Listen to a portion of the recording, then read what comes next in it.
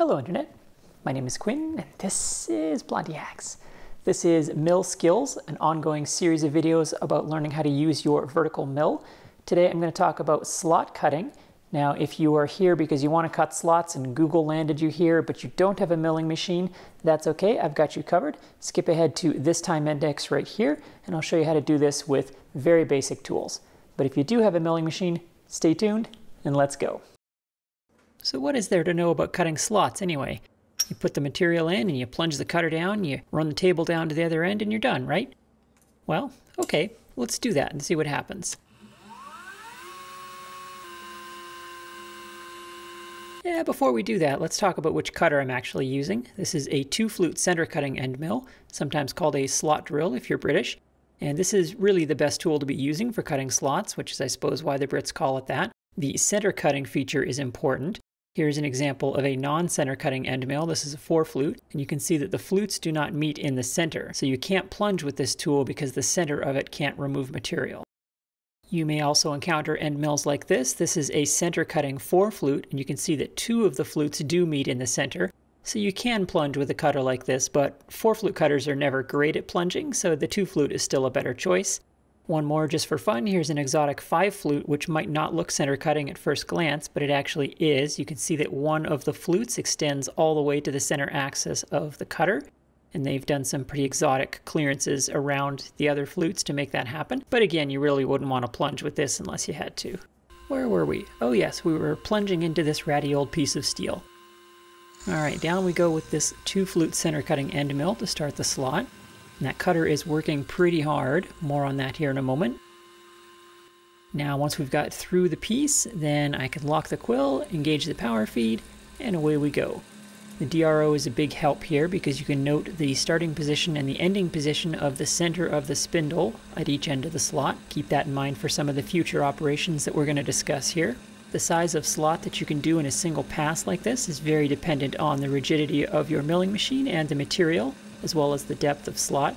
So this is a quarter inch cutter in eighth inch steel plate and I think this is about the limit on this machine. I wouldn't want to try to do a single pass slot any more than this.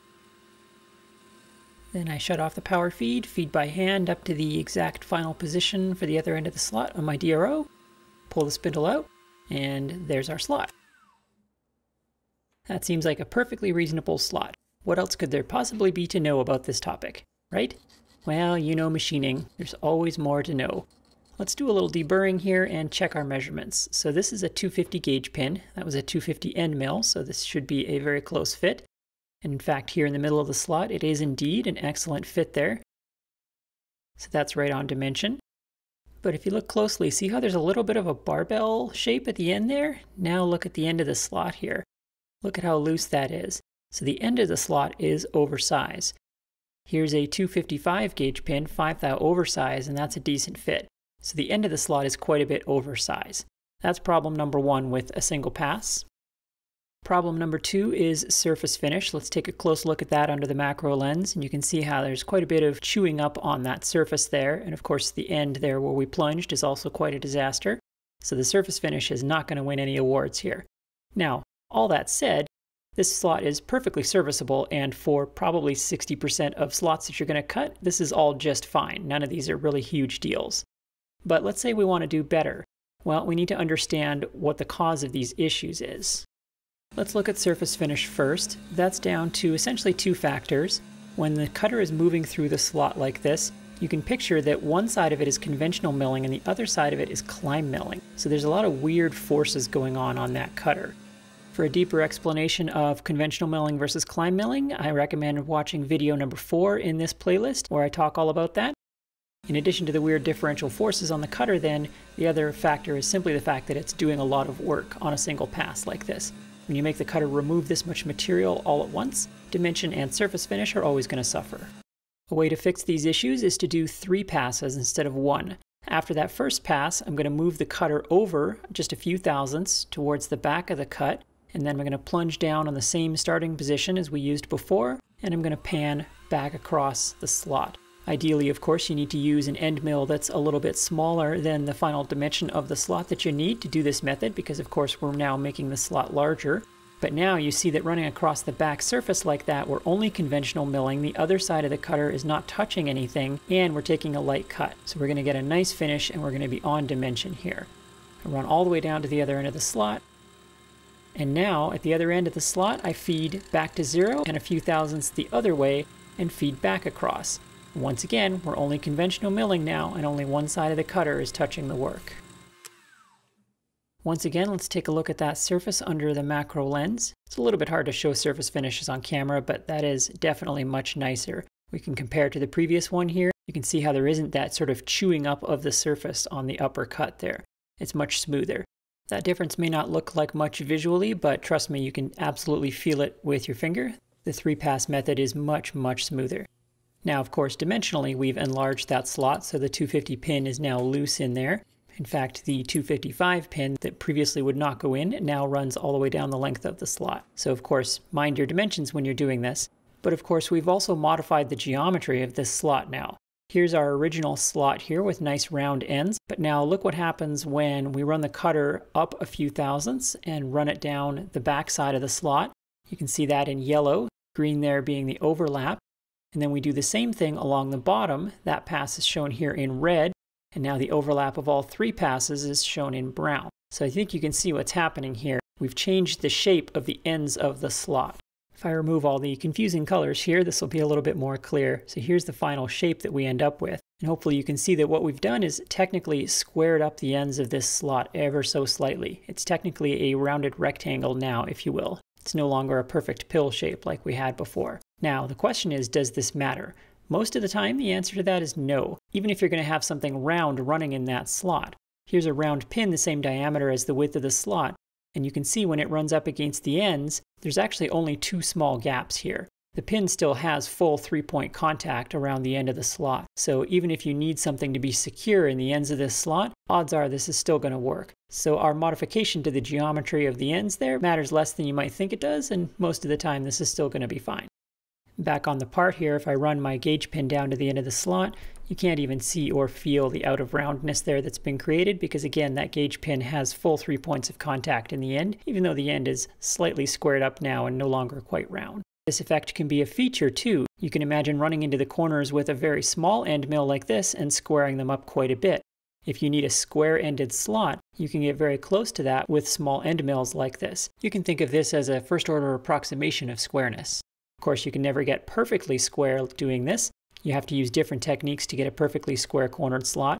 But again, in the real world, it's extremely rare that you actually need a perfectly square cornered slot, and this technique is likely to get you close enough. If you do need perfectly square corners, you can file them or broach them, or you can use a vertical piecewise technique like I demonstrated in my letter punch jig video.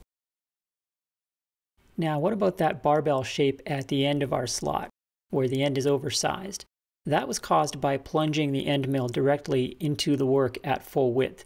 Again, because we're making the end mill work really hard, and frankly end mills don't like plunging that much to begin with, the end mill is going to vibrate and deflect, which causes it to cut slightly over size. However, there's an easy way around that, we just have to pre-drill each end of our slot. Using the same start and end position of the slot on the DRO, I'll do a second slot here with this technique. So once again, noting the start and end positions of the center of the radius of each end of the slot, that's key here. I'm going to center drill each of those, and then I'm going to drill through with a drill that's a little smaller than the end radius of the slot that we want. A good rule of thumb is the same as for reamers, which is one imperial size smaller or 164th.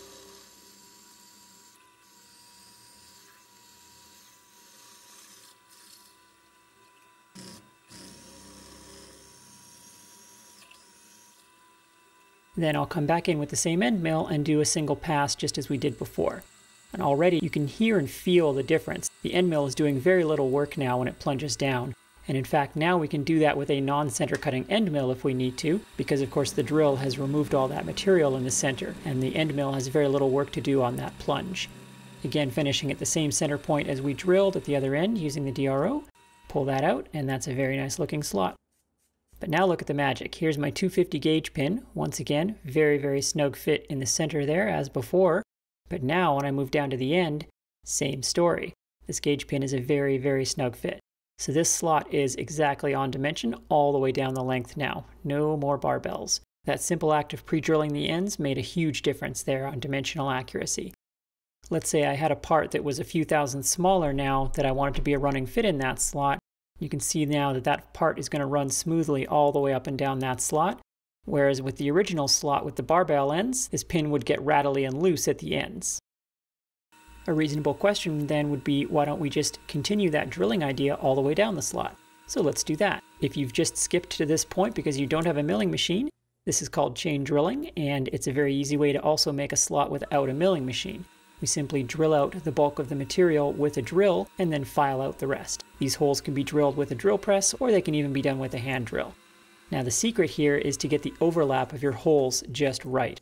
The ideal overlap is about one quarter the diameter of the hole. You'll see that the first two holes that I did there were a little closer together than that. I got a little greedy with the overlap, and you'll see the grief that that causes here in a minute.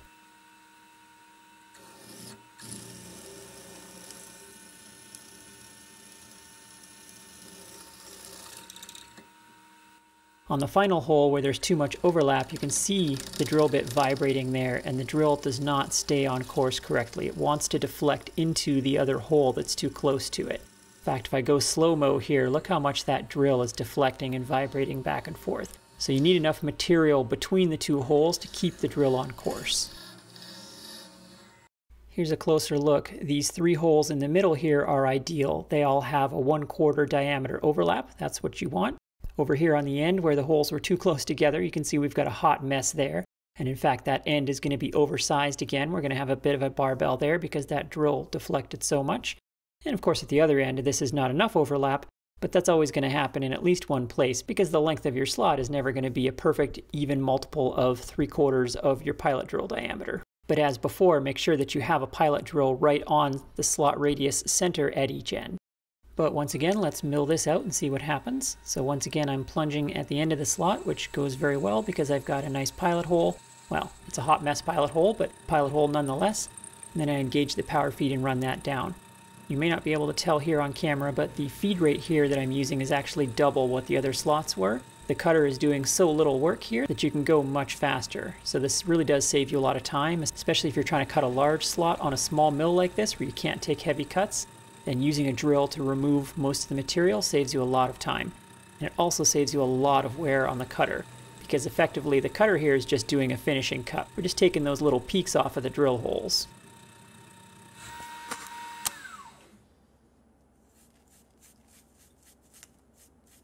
Surface finish wise, you can see that chain drilling helps quite a bit because again the cutter is doing a lot less work.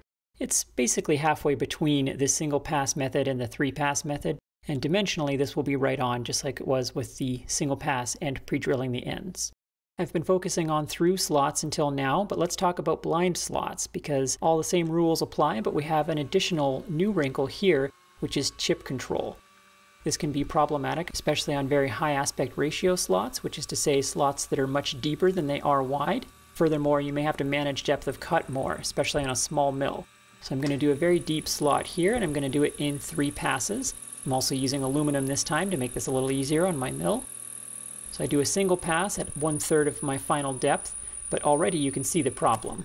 The slot behind us there is completely full of chips. So it would be nice to now plunge the cutter deeper and run back the other way, but we'd be running through this huge pile of chips here. And you don't want to recut old chips. That's hard on the cutter and it's bad for surface finish and dimension. So I'll clean that out with some air here and start to run back the other way. But you can see, again, the blind slot immediately fills up with chips again. If you have compressed air, you can keep it clear here to some degree. You can also use a vacuum for this, and cutting fluid helps a little bit. So if the slot isn't too deep, you can get away with these methods, but much deeper than this, and those methods start to break down. The ideal solution here, of course, is flood coolant. That's going to keep the slot completely clear as the cutter moves, but most hobbyists aren't going to have that, and it's messy. Here's a hobby-friendly alternative. This is Anchor Lube. Hashtag not sponsored, but it's an alternative form of cutting oil, if you like. I think it's soap-based rather than oil-based. It works quite well for clearing chips in a blind slot. So I just goop up the whole slot and the cutter with it, and now watch what happens on my final really deep pass here. It's a little bit hard to see on camera maybe, but what's happening is the anchor lube and the chips form kind of a lumpy paste that then allows the flutes on the cutter to lift everything up out of the slot as it cuts. The chips aren't piling up in front of the cutter at the bottom of the slot, which is what causes issues. They're all gooped up with the anchor lube, and so they just kind of float right up out of the slot. I'll wipe away the surface there so you can kind of see the end result can see that all of those chips were just sitting around the slot. The slot itself has almost no chips in it. In fact, if I blow it out here with some air, only a couple of chips were actually down in that slot. The anchor lube did a nice job of keeping it clear as it was cutting. Here's the final slot here. That's a 3 to 1 aspect ratio. It's three times deeper than its width, so that's quite a deep blind slot. Let's talk finishing now. For deburring slots, that can be a little tricky, but a standard Noga style rotating deburring tool works quite well. Because of the pivoting action, it allows you to run down one edge and then run around the end and run down the other edge quite easily. That does a pretty decent job. Most of the time, that's going to be sufficient. If you want to really take it to that next level though, here's a nice trick. This is a chamfering tool. This happens to be a zero flute chamfering tool, which are my favorite. So while the slot is still set up in the original setup where you cut the slot, using those same start and end DRO positions, just run the chamfering tool down in there I'm feeding it down here with the fine feed until I get a depth that I like, and then I engage the power feed and I run the chamfering tool down the length of the slot. Once again finishing on the ending DRO position, which again is the center of the radius of the end of the slot. And then lift the cutter out, and we're done. This is a very easy technique, but you can see how amazing the result is. We get a really beautiful chamfer that follows the profile of our slot perfectly. This is the kind of feature that seems like it would be really difficult to create, but it's actually very, very simple. Now, if this is a through slot, you're probably going to want to do that to the other side as well. So you're going to need a method to locate the slot with the part flipped over. So something like an end stop would be helpful there. Well, there you have it. That's slot cutting in a nutshell. I hope you learned something useful in here. And if you've got slot cutting techniques that you want to share, put them down in the comments below and we can all learn from each other. Thank you very much for watching, and thanks especially to my patrons who make all this content possible and I'll see you next time.